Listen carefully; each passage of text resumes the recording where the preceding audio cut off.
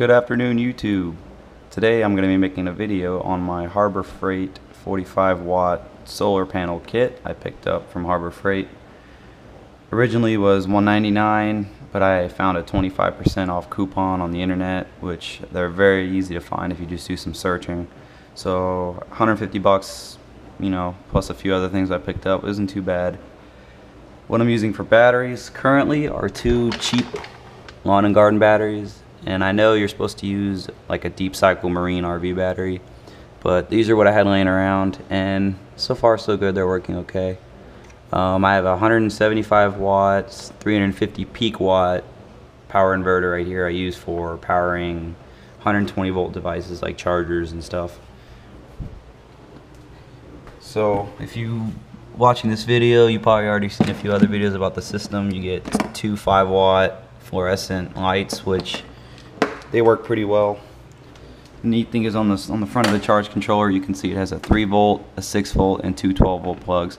This is the, the, Thunderbird, the Thunderbolt version. The older versions had didn't have the cigarette lighter and they also had a 9 volt output but this is the newest version of the panel kit so they put an inverter plug and then they put just a normal 12 volt plug. I wouldn't plug an inverter into this just because if you look on the back the wires coming from the batteries or going to the batteries are very thin.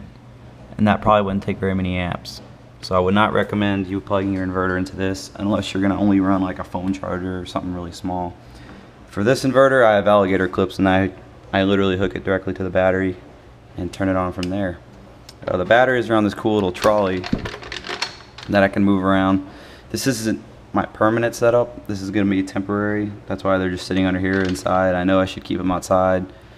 I'm going to build a battery box eventually uh, with some fans on it to keep it ventilated and keep it outside. But this is my setup for the time being. But uh, yeah, so if you want to use the, uh, the lights, just plug it on up. And then there's a small switch here, and there you go. Now they're not terribly bright, but in an emergency they'd be just fine. I think they'd suffice and it's pretty cool. I mean, they pretty much give them to you, you know, for free with the kit.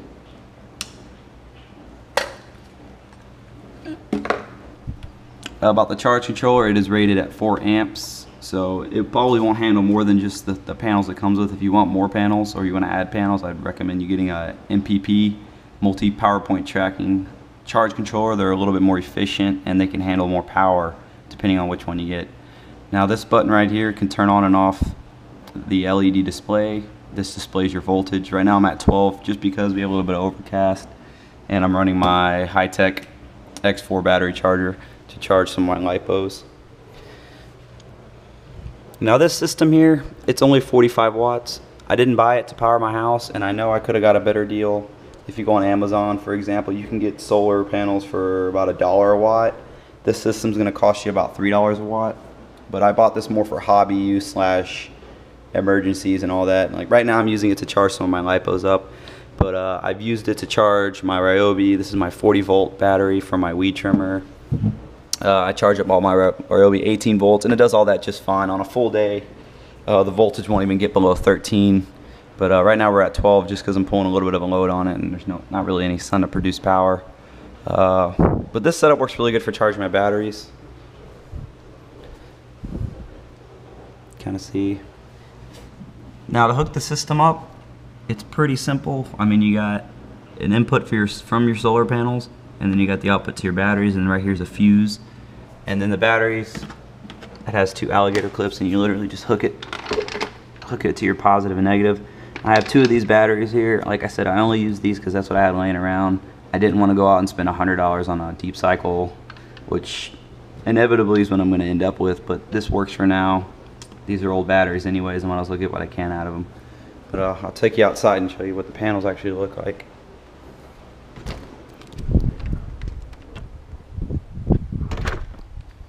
You can see the panels right here. They're 15 watts a piece and this little red one, it doesn't come with this, I added this, it's at 1.5 watt. I never found any use for it until now. And I just wired it up with these panels, so I'm getting about 46 and a half watts on a full, full sunny day. Now I didn't use the include. I did use the included stand, which is this plastic pipe design with these uh, wing nuts and stainless bolts or uh, galvanized bolts. and actually made this wooden frame for these to sit on top of just because it works a little bit better how the sun is on mine and I have it perched up on two bricks on the rear and it gets you know a full day's worth of sunlight from dusk till dawn pretty much and uh, I can get full power output you know at least six seven hours out of the day and then the cable they all hook up there and just runs into the house and as you already saw to the charge controller. Like I'm saying you cannot power your house with this. I don't expect to power your house with this system. I bought this strictly for hobby use and just to charge up my batteries. And in case of a power outage I could easily charge my cell phone you know any communications I need uh, it keeps all my batteries charged. And I, I really like the system. You know so far so good.